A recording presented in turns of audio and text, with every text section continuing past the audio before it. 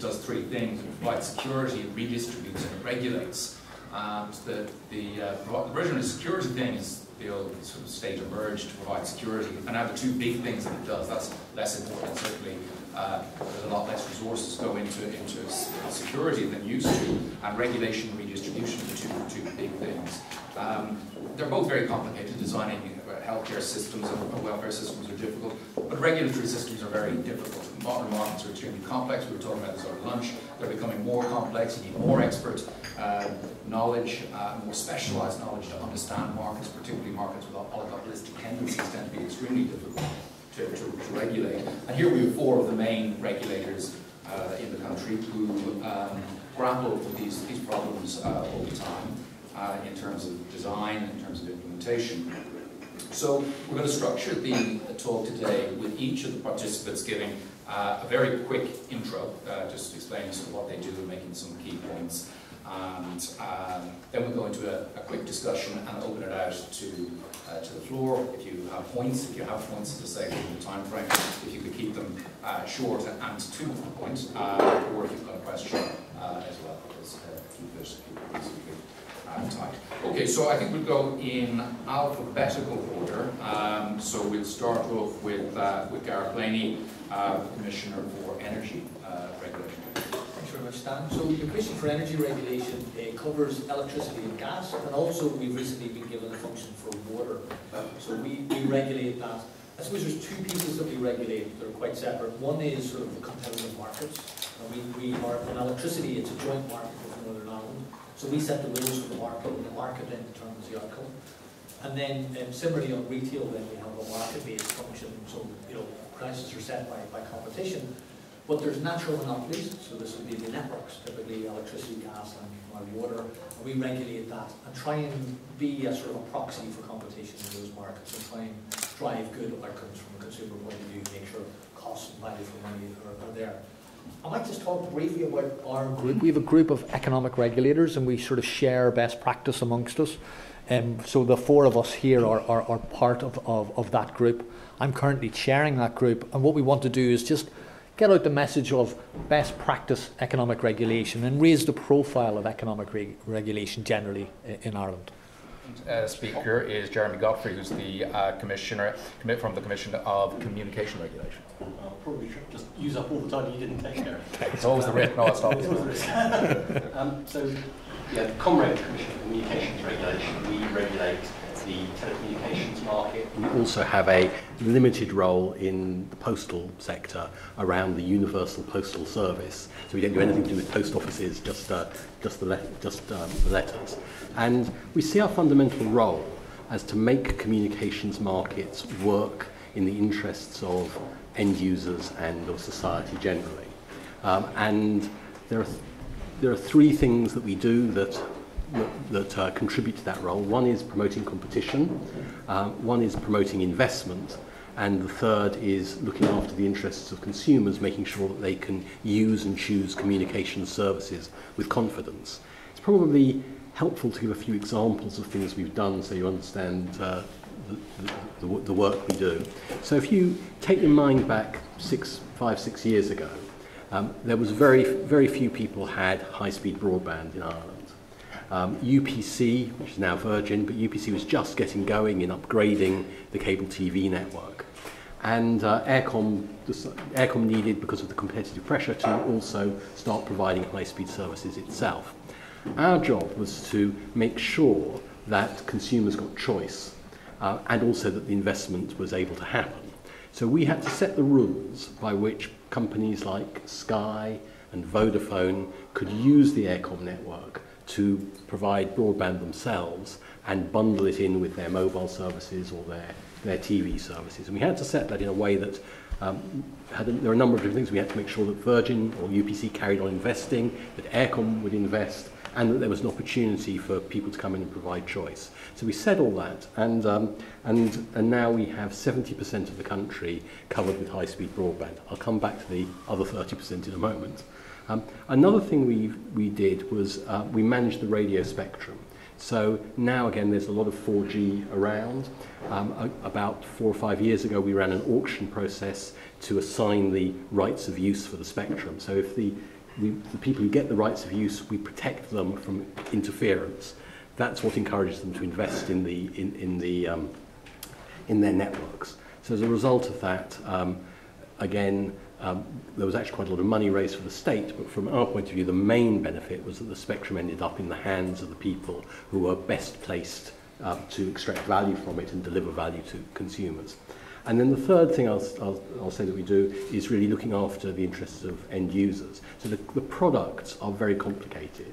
It's very hard for people to compare them, and there's lots of attributes that, that to do with the quality of the product that are very difficult for end users to assess. So we set rules about what information must be provided to end users, we enforce those rules, uh, and increasingly we're also providing information ourselves. So um, we'll be providing information about mobile coverage, so you can see coverage maps on, on providers' websites. Most people take those with a pinch of salt. We'll be providing um, authoritative information on that kind of thing. So those are the main sorts of things we, we do. Uh, and I suppose just in conclusion, what I think you look at what the regulated market has achieved over the last six or seven years at a time of immense financial crisis. Despite the financial crisis, a well-regulated market has brought forth investment, which has led to much faster, much better services that has enabled people in Ireland's lives to be transformed in the way they use communications. Okay, thank you. So, one of the things that, that your talk raised for me was the, the, the issue of short-term consumer protection versus longer-term market efficiency, and which is ultimately in consumer consumers' interest. But maybe we'll come back to that okay. uh, during, during the discussion, and that's maybe something that, that you, Isolde, have to have to deal with and, uh, and possibly trade off. So our third speaker is Isolde Goggin, who is the Competition Consumer uh, Protection uh, from the Comp uh, Consumer Competition Protection Commission. Thanks, Dan, and hi, everyone. Yeah, we're, as it says in the tin, we do competition and we do consumer protection. Uh, our mission statement is to make markets work better for consumers and business. And to break that down, markets have two sides they have buyers and sellers. The buyers are the consumers, and the consumers are the people whose money is going into making those markets work. So we spend a lot of our time and effort ensuring that consumers know their rights in the first place, know what they're entitled to in terms of buying goods, buying services, buying things online, uh, the rights of return, the rights to be given proper information, the rights, of course, for the thing to, to, do what it's supposed to do in the first place. So we, we have a large consumer information and awareness function which is mainly aimed at empowering consumers to assert their own rights. We don't want to be in the position of an ombudsman who deals with every complaint that comes in because it would just be an impossible task and it would let companies off the hook, frankly, for not uh, vindicating consumers' rights themselves. But we do take some of that information uh, and use it for our, our, enforcement. On the seller's side, if you like, there are rules for companies as regards competition, how they're allowed to interact with each other, how they're not. They're not allowed to form cartels. They're not allowed to engage uh, in anti-competitive practices. They're not allowed to abuse a dominant position. And of course, they have to vindicate consumers' rights and they have to ensure that those rights are vindicated in the contracts that they offer consumers and in how they deal with them. So that's uh, the, the basics of what we do. In terms of our priorities for this year, uh, we have uh, a lot going on in terms of cartels and bid rigging, which is a, something that's very, very damaging uh, to consumer welfare and to the state. Uh, we have uh, structured kind of investigations in vehicle crime. We're doing a lot of work on cars which are being sold to consumers where the cars have either been crashed previously or have been clocked, the odometer has been put back. It's probably the second biggest purchase you're ever going to make uh, in your life. So obviously it's a, it's a hugely important thing for consumers. We implement regulations in the grocery goods uh, area, which is uh, the relationship between the retailers and uh, suppliers. Um, we're reaching out more towards business in terms of our business compliance function, and we've specific investigations going on in price signalling in motor insurance, uh, the transport sector. Uh, we're looking at a lot on buying online and how compliant companies are with the Consumer Rights Directive, which gives people rights, rights in that situation. We do pricing investigations on a regular basis, and we work together with our European partners uh, to look at issues in social media and the sharing economy, things like Airbnb and Uber and so on. Um, just a quick word before we're going to talk about some specific issues later on in the discussion, but I just wanted to say a little bit about the zeitgeist, if you like, at the moment, because the times that we live in are very peculiar. They're very unusual, I think. There's a lot of impatience, both among consumers and in the political system, with the kind of slow and steady solutions that regulators and the regulatory system is good at coming up with. So the notion that for instance, variable rate mortgages, the rates are too high. People want an instant solution. They don't want a lot of research done and studies and reports and due consideration and we come out with something that has uh, the right effects in the long term. They want something that works very, very quickly. Allied to that, there's what I would describe as a sort of mission creep, where the solution to everything has to be a regulatory solution. Something's going wrong, pass a law, make it illegal, and give it to somebody to implement. And that's something that we fear very much for ourselves because we're not sectoral, we're kind of a very broad mission across the economy and we feel that that has happened to some extent already and it can happen some more. And that basically dilutes the effective of, effectiveness of what you're trying to do in terms of the old the whole mission. There is this kind of anti-expert thing you know it's like we want solutions we want solutions. Now we don't want to listen to big complicated arguments just you know reduce the price of electricity for instance as, as Theresa May is trying to do in the UK and, and then Brexit which is yeah, is going to have huge implications for all of us and, and is very worrying so that's the downside what do we have going for us? Well, actually, I think quite a lot. We have a lot of tools that we can use. If we're looking at a market, we can really take a kind of 360 degree look at it. We can say, is this a structural issue where we might advocate for greater competition or greater consumer rights? Is this an area where consumers have rights and just don't know about it and aren't implementing it? Is it an area where it needs a bit of short, sharp enforcement uh, to concentrate minds and then we can use that as a deterrent for other companies uh, to say, look, this, this is, these are the rules you have to obey. So tools is one thing, alliances is another. There's the alliances we have with each other here, but all of us are part of networks at the European level, where, where frankly, as, as a fairly small um, representative, you know, we can learn a huge amount from larger, better resourced organisations. You know, the UK, which we're sadly going to miss when they leave these networks, but the Germans and the French, and also the, the, smaller countries more comparable to us in size. Uh, we have a huge connection with consumers, and that's that's a way that we can fight the sort of populist solutions because we know what's on consumers' minds. We get about 40,000 calls a year for consumers with problems. We get upward of 1.7 million hits on the website. We know what things people are searching for. We know what kind of consumer problems they're having. And that's, that's a big resource to us in saying, no, we're, we're concentrating our resources here because we know that that's what matters. And the final thing I would say is the commitment that we have, and I think all, all of us here would agree, it's the commitment we have from our staff. Because the kind of work that we do, it's really interesting, it's really engaging, and it's having benefits for consumers right from the start. So you're never in the situation where you have to kind of explain to people why they should come to work uh, in the morning because that's really, really plain to everybody in the organisation. And you know, it's public sector. We've had a lot of problems over the years. We've had pay cuts. We've had you know limitations on staff and so on. But that commitment and, and the mission itself, I think, is one thing that, that really is the glue that binds the organisation together. And that's something that I think I have to, to, to mention as the positives in the counterbalance to all the problems that we know exist. Okay, thank you for that. So let's go to our, our final panelist, uh, who's Michael O'Keeffe, who runs the Broadcasting Authority of Ireland. Uh, thanks, Dan. Uh, just, uh, I'll be as brief as possible. Uh, the BAI was established in under the Broadcasting Act of 2009. It took on the functions of the old Broadcasting Commission of Ireland and the Broadcasting Complaints Commission. The Act was a, a consolidation of, of, many broadcasting acts going back to the, 19, uh, to the 1960s. I think the key additional functions were a series of regulatory obligations in respect of public service broadcasters. It's RTÉ and TG4. Uh, that hadn't uh, been there in the past. Uh, there were a number of no, uh, other new uh, uh, functions as well. We're a non-commercial semi-state agency, and unlike my, my colleagues, we operate with a board, with a, with a part-time board and two statutory committees, which look at compliance and licensing. Um, and we're funded by the industry, who pay a levy based on their total income. Uh, all of our functions are, we are set out in the Act, but we contain them within our we, we how, how, we how we uh, address them is within our three-year strategy statements. And just touch briefly on our most recent statement, which is concluded in uh, the 2014 to 2016. One of the number of key findings which are, I suppose, are important in terms of the context of us being a regulator. We were perceived by stakeholders as an effective regulator. We were trusted by them uh, as an independent, impartial, fair, and proportionate body. Uh, there was a view that there is a diverse range of content on radio and television, which is one of our, our, our, key functions, although it was reckoned that diversity in radio is probably stronger than, than television in this jurisdiction.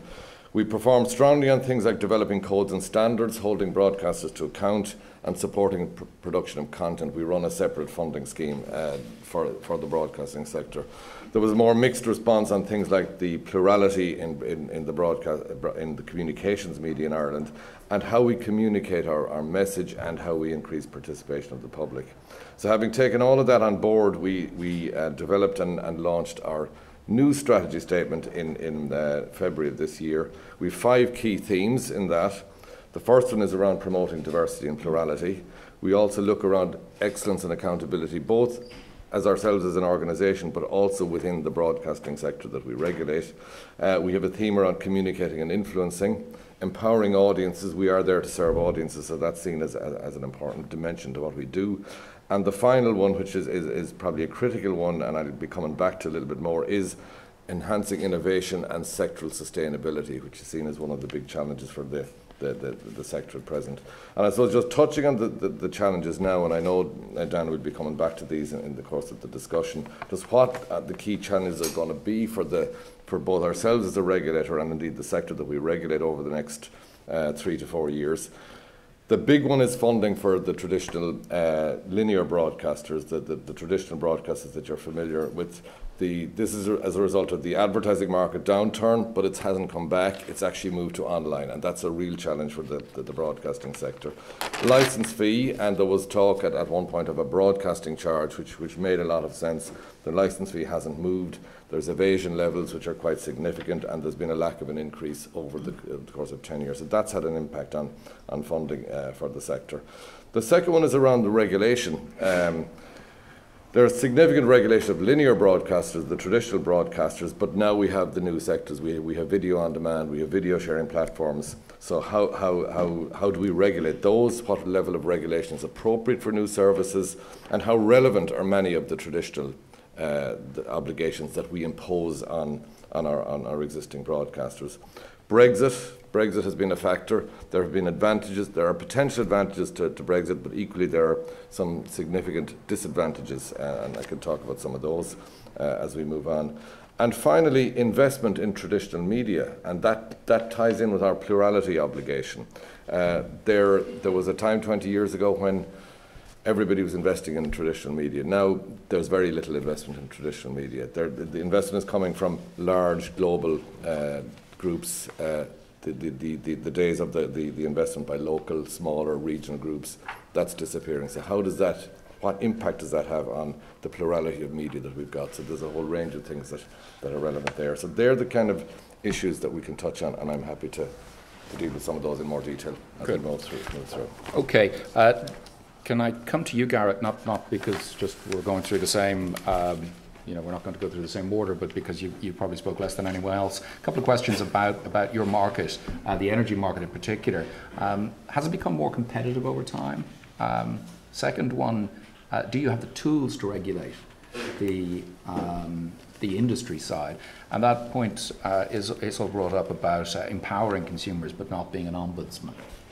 Would you have any thoughts on, on, on your position so around that? I suppose we're seeing a lot of sectoral change in the energy specifically. I mean, uh, we would like to see more competitive, and I suppose as a regulator, there's never enough competition for us, but I always like to see more. I think though got, there's two sort of fairly fundamental themes that are that are radically changing the energy sector. One is decarbonisation, and the sort of objective that we don't we should move away from fossil fuels and, and have a, a, low carbon future. And the second one then is the technology, and I think this is where we would share some of the you know the, the, the experiences of fellow regulators that we're seeing the sort of the digitization of energy um, probably much slower than the telecom sector. I think we, you know, we look across at the telecom sector and we try and foresee that level of change in energy and, and just what sort of what, what impact that would have. So how, I mean, we, we try to look this through the lens of the consumer. What is this, how do we make sure these changes work from a consumer perspective?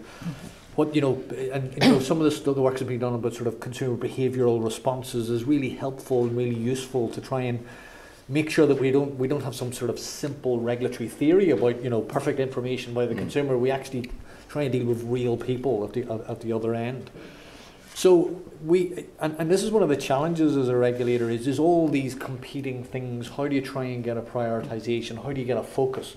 Because otherwise you can run around trying to achieve everything and you, and you get nothing done. So I, I really try, try and focus in on sort of outcomes, positive outcomes from a consumer point of view that we have a sort of a, a, quasi ombudsman function that where you know if consumers have complaints you know we have a sort of a, a hot desk there and they can ring in and, and again as Isolde was saying having that direct touch with the consumer is sort of useful you can hear real problems coming back and real issues coming back from consumers which keeps you grounded. It makes sure that we don't just get too caught up in our own theory and we actually realize, you know, keep reminding ourselves that this is all about the benefit to consumers ultimately. And hopefully that's a sort of a shared experience across us all, really, as regulators. Good. Um, Isa, would you like to comment? And if anybody wants to comment on anything anybody else says, just jump in and feel free. Um, the, um, the issue uh, around criminal sanctions, um, you know, do, do you feel in your uh, role, do you have uh, the powers that you need, or do you think that should evolve? I think I certainly think it should evolve. Just just to set out the issue, competition law and consumer law are based around criminal sanctions only. That is, that if you want to prosecute somebody, you have to go uh, for serious penalties to be imposed. You have to go before a full jury trial. You have to have all the defences that go with criminal enforcement. Uh, we do this for hardcore cartels. We've, we just completed a case in the Central Criminal Court, uh, which, which resulted in two guilty pleas, but they are enormous undertakings. I mean, that investigation, there were over 200 investigative actions, by which I mean a state, taking a statement or a witness interview or a search. Uh, there were 41 witnesses lined up, so if it had gone to trial, there would have been 41 witnesses in the Central Criminal Court. I mean, I mean, they're just simply enormous. And our feeling is that while that is appropriate for hardcore cartels, which are the most serious kind of breaches, and while you know low-level district court prosecutions may be appropriate for certain other uh, types types of breaches, there must be something where companies can face a fine for egregious anti-competitive conduct, which is based on the balance of probabilities. So we would like to have the powers to take cases to court uh, where we could argue on the basis of the civil burden of proof, the, the balance of probabilities, rather than beyond reasonable doubt, which is the criminal standard, because many of these things are, they open up economic arguments, and once you start bringing in economic expert witnesses, you've lost the jury. I mean, our experience is just that it's impossible to prosecute anything other than a, a very straightforward story of price fixing or bid rigging or market sharing in those circumstances. Now, the, the weird thing is that I think most people along here uh, have the powers themselves to impose civil fines. Uh, we're told that there's a constitutional bar on doing that, but because you're operating within a sector where people are licensed, that that licensing effectively kind of sets up a club. And if you sign up to the club, one of the rules of the club is that you make yourself amenable to the imposition of fines by the regulator. But uh, we're increasingly uh, an outlier, uh, both within Ireland and within Europe, in the sense that we don't uh, have this power. And we just think, from the point of view of disincentives to companies for uh, abuse of dominance or for anti-competitive agreements short of hardcore cartels, that it's something that's really, really missing uh, from our armoury. Thank you. Uh, Jeremy, every, every, time I go to change my phone, um, I, I, I, get a list of options that I just, I feel my IQ drops by about 100 points. Um, in, in terms... It's still very high then. well, no, it goes negative. Um, in terms of empowering consumers, um, would you like to elaborate on how you work around that piece? Yeah, I think that there are, there are two things that we can do. One is we can make sure that the operators themselves provide consumers with information in a particular, you know, particular minimum set of information. So they they are obliged to give consumers you know, what are the main terms and conditions of their contracts and so forth. Um, but and then you get into things like say broadband. Leaving aside your, you know, if you try to buy broadband, that'll probably lower your IQ even more. Um, so all the advertisements for broadband say up to 100 megs or up to 30 megs. And this is the, the number that um, the industry has managed to get consumers fixated on. It's not actually necessarily the number that is the best proxy for how good an experience they're going to get. Um, and, sorry, you know, we've done some research with ESRI on the ability for consumers to process all the information. I mean, the reason why you're finding it so difficult is I think the research suggests that consumers can understand maybe two or possibly three attributes. Um, but there are, in fact, in fact, many more. So, so I think working out what information needs to be provided, having rules that it should be provided, and enforcing them is, is very important. The other thing we can do is we can provide, as I say, be the independent source of information. So we've operated for a long time a kind of price comparison uh, website, uh, which has had, I think, reasonable reviews from the you know, from consumers and from the other people in the price comparison world. but we want to make that, we want to actually upgrade that so that we're not just telling people about price, we're telling people about attributes. So when you buy your mobile phone, you're probably quite interested to know what's the coverage going to be like in your home or on your journey to work. What's it going to be like for voice? What's it going to be like for, for data?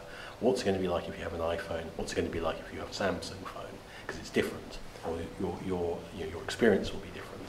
Um, that's going to, that is requiring us to invest quite a bit in some engineering work to test out handsets, to model, um, to gather, in, gather different sorts of information from the operators, to be able to do spectrum prediction models, to be able to provide that information. But I think, uh, I think making sure that consumers have that information, making sure that they have the rights um, if things change, if um, when people you know, try, say, try to put, you know, you signed up for an 18-month contract and then they put the price up after six months, making sure, and you do at the moment have the rights to cancel without penalty within 30 days, but making sure that you are told about that right in a way that you're not distracted by something that looks like a marketing flyer that you put straight into the bin. Those are things that, um, that, that, that we do, and we've been very active in taking compliance actions. Um, unlike Isolde, we do have the ability to take compliance actions in the civil courts. We don't, like Garrett, have the power to impose penalties ourselves, so which is something we would very much like. Um, so uh, we do have the power for some, for some things. We, we use district court prosecutions where the fines are trivial. Um, so I think, I think the, the consumer piece is very, very important. The other thing we do is we do have, I think we have 60,000 consumer interactions every year, um, about 25,000 case, separate cases, of which about 6,000 turn out to be complaints. Um, and actually the proportion of complaints is dropping, which is a good thing because uh, what it means is that um, the operators are now resolving the complaints themselves rather than having ones that we have to get involved in. Um, but, uh, so, but you know, it, it, uh, as Isolde said, there's a buy side to the market and there's a supply side to the market. If the people buying in the market don't have the information to make wise choices, if they don't have the confidence to make wise choices, then the market, there's no point in having competition because then the, the market uh, won't operate effectively. So, you know, the, the putting together of the competition uh, and the promotion and consumer protection, they are actually two sides of the same coin that, we, we see, and you know, so we're very glad to have that responsibility. Okay, good. So uh, we're going to open it out.